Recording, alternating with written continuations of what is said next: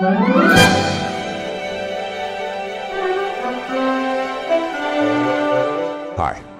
I'm David R. Lewis. Welcome to Theater of the Mind. Today's Heartland Memory takes us back to the 1960s and is called Spock. Her name was Miss Spock. She was my first house cat.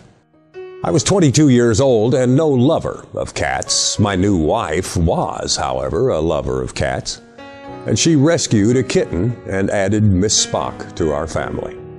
I, in spite of my best efforts to the contrary, fell under her spell.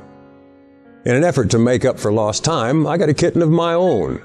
He was named Little Leroy in homage to bad, bad Leroy Brown. In the ensuing years, Leroy more than lived up to his name. Miss Spock was of the common mixed breed variety, black with white feet and a white snip on her nose. She was unremarkable in most ways, very remarkable in some. Her name turned out to be also a prophetic choice. During the first half of her life, she was aloof, poised and prone to fixing the nearest human with a wide eyed, unblinking stare that would often have her victim squirming in his chair. Very Vulcan like was Miss Spock, not open to displays of emotion, declining affection, intolerant of exhibition. Distant and discerning, she observed humans but would not engage them. Spock was above such emotional nonsense. She would let her hair down only with Leroy. The two of them loved each other totally. Miss Spock had many trials in her long life. She survived feline distemper after the vet had given up on her. She conquered cancer twice. She related to her difficulties the way she related to life, remaining coolly detached from the mundane and impervious to the emotionality around her. Such was her Vulcanness until the most difficult challenge of her life the death of her partner and friend, Leroy. Leroy passed in Spock's 13th year, and she lay down on her side in the middle of the living room floor and voiced a low, moaning groan that made the hair on the back of my neck stand up. Laura and I had never heard her produce that particular sound before, and it frightened us. It continued for days and there was nothing we could do to comfort her. When she eventually did get up, she began to prowl the house, calling Leroy, looking for her beloved friend. Her search went on for weeks, with Miss Spock losing weight and will as she wasted away to only a few pounds. When she finally gave up the hunt, she was so emotionally and physically battered, we thought that she would surely die from sorrow. Her heart and her spirit were broken, and Laura and I were helpless to do a thing about it. Then, one marvelous afternoon, she asked me to play.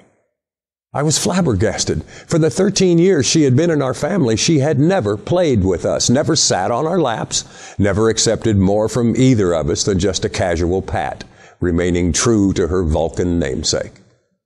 And now, this paragon of logic and restraint, wanted me to play with her.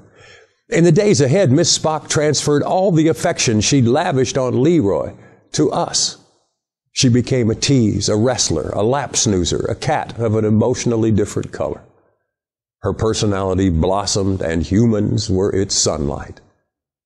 Spock cast cat decorum to the winds and became a clown. She loved everybody within reach and would engage in shameless cat play at the drop of a rubber mouse. It was an amazing and joyous transformation. Years later, near the end of her life, Spock's mind began to go. Physically, she was still quite capable, able to run and box with our other cats, her eyes only slightly cloudy, her bones only slightly brittle, but mentally, mentally, she spent very little time in this reality. Miss Spock would forget where she was and become frightened, calling for help. During the night, Laura and I would each arise several times to find the old girl and hold her. calming her fears and returning her to the current time and place. When she had physical contact with either of us, she was fine, firmly grounded and secure, her tail lashing and her purr rumbling as she gave and received love. But when that contact was broken, so was her emotional grip on life, and she suffered. It was difficult for us and dreadful for her. Reluctantly, we faced the inevitable and discussed having her put down. Our heads were decisive, but our hearts were less than logical. We were unable to reach a decision that Miss Spock soon made for us. One evening, she jumped from Laura's lap, laid down on her side in the middle of the living room floor, and began to call Leroy. When Laura and I heard that moaning groan she'd voiced only after his death so many years before, we both knew it was time. Four months before her 25th, that's right, 25th birthday, Laura took her to the vet's office. As preparations were made, Miss Spock, well known among the staff, visited with everyone that came to say goodbye to her and reclined on Laura's lap. The doctor approached and began to insert the needle to sedate her. As he did, Miss Spock died. None of the narcotic entered her body.